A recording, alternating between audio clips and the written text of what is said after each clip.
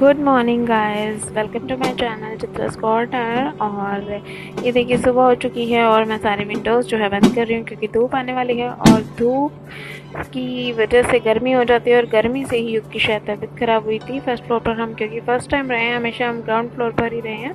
तो ये sheet husband ने और मैंने मिलकर लगा दी थी और अब मैं इसको खो, खोल दिया है और लगा दिया है। और ये मेरे हस्बैंड गए थे उन्हें मालूम नहीं था कि कैमरा ऑन है और वो जैसे उन्हें पता चला तो वो चले गए और यहाँ पर मैंने लगा दी है शीट और यहाँ पर युग मस्ती चल रही है उसे अच्छा लग रहा है यहाँ पे कैमरा चल रहा है तो उसे अपने यहाँ फेस दिख रहा था तो खुश हो रहा था वो।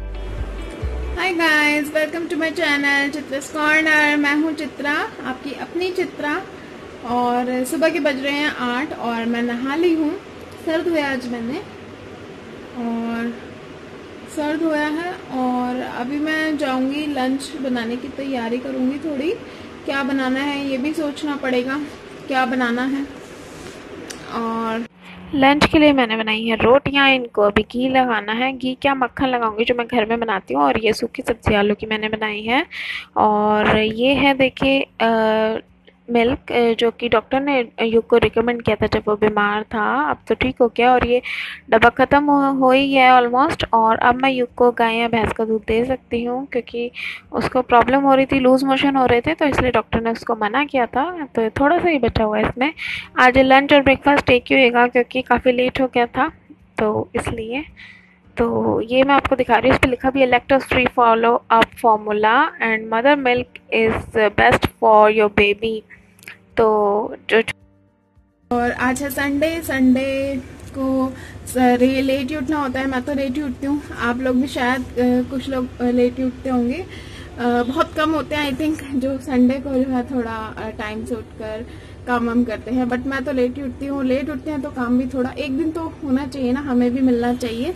तो वही मैंने कल कपड़े धोए थे, रात हो गई थी काफ़ी। तो फिर अब मैं सुखा रही हूँ क्योंकि कल रात को सुखाती तो हो सकता है, बारिश आ जाती तो इसलिए मैंने रात को नहीं डाले, अब मैं डाल रही हूँ, ग्यारह बज रहे हैं और नाश्ता मेरा बन चुका है, मैंने आपको दिखाया अभी। और नाश्ता, लंच दोनों ही बन गए हैं और ये देखिए, ये बास्केट भरी है कपड़ों से।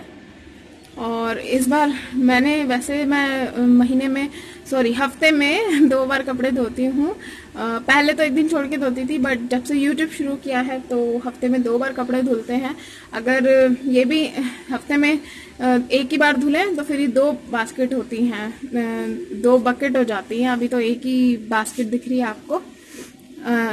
तो युग का जो स्कूल है, वो एक जुलाई को गया था और फिर जो है यहाँ पर हरियाणा और दिल्ली में एक हफ़्ते की छुट्टी हो गई थी। मंडे से, अब मतलब कल से वो जाएगा स्कूल में, क्योंकि गर्मी बहुत हो रही थी तो छोटे बच्चे हैं और वैसे भी बड़े स्कूल भी बंद हो गए थे कि गर्मी की वजह से कहीं बच्चे बीमार ना हो जाए और युग तो पहले ही बीमार था तो अच्छा हुआ छुट्टियाँ हो ही गई थी।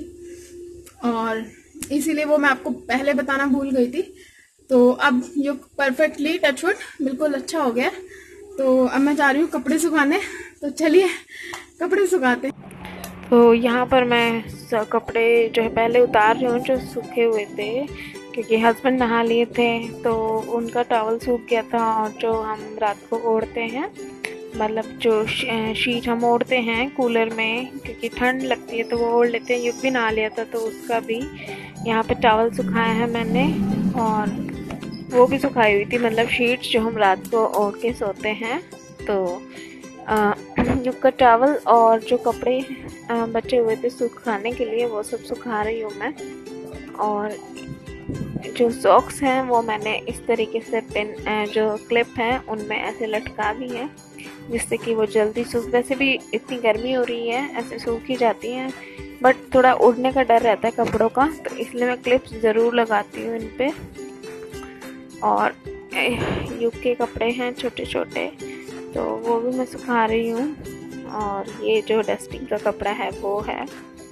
तो तो गाइस इसी तरीके से मैं सारे धीरे धीरे कपड़े सारे सुखा दूँगी। और कपड़ों को जो है, उल्टा ही करके मैं हमेशा सुखाती हूँ, जिससे कि कुछ भी गंदे हों या कुछ ऊपर से कोई बर्ड वगैरह कुछ कर जाए शेट वगैरह तो एटलीस्ट वो गंदा बाहर से हो मतलब अंदर से हो, बाहर से ना हो। और वैसे भी अंदर की जो पॉकेट्स वगैरह हैं पैंट वगैरह में, वो अच्छे से फिर सूख जाते हैं। तो इसीलिए मैं हमेशा सारे कपड़ों को उल्टा करके सुखाती हूँ।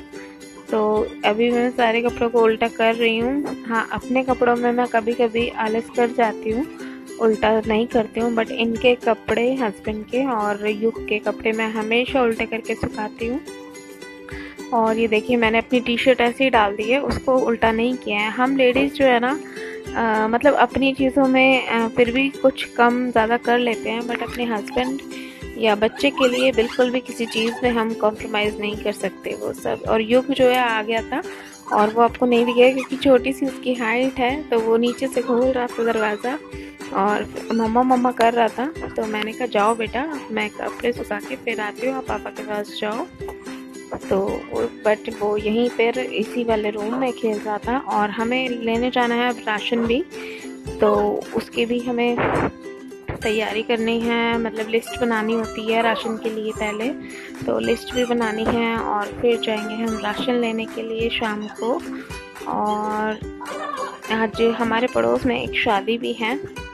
तो हम तो न्यू हैं, हमें तो नहीं मालूम और वैसे भी हम तो रेंट पर हैं बट जो ऑनर है, उन्होंने ऐसा कुछ बताया था। तो वही शादी है, यहाँ पर किसी की। तो शाम को निकलेगी बारात यहाँ से। तो हो सकेगा तो मैं ज़रूर कैप्चर करूँगी। और ये गाइस मुझे शाम को एक बारात जाने की तैयारी हो रही थी, घोड़ी खड़ी थी। ये देखिए, मैं जूम करके दिखाती हूँ आपको। ये देखिए, और घोड़ी खड़ी है, दूल्हे का इंतज़ार हो रहा है, और ढोल वोल बज रहे हैं, काफ़ी देर से बज रहे हैं, और दूल्हा आने का नाम नहीं ले रहा है, और जब दूल्हा आया तब पता नहीं मैं कहाँ थी, और चली गई थी बारात, वरना मैं आपको वो भी दिखाती। और अब हम राशन लेने चले गए थे तो राशन लेने के गए तो फिर युग जहाँ पर यहाँ पर इंजॉय कर रहा है अपने क्रैक्स कर्ल्स और खा रहा है मज़े से, क्योंकि इसको इतनी सारी चीज़ें दिखती हैं तो फिर इसे कुछ चाहिए। यहाँ पे हम राशन लेने आए थे तो इसने क्रैक्स ले लिए। तो ये देखिए ये जो शॉप है, उसमें ऊपर की साइड है।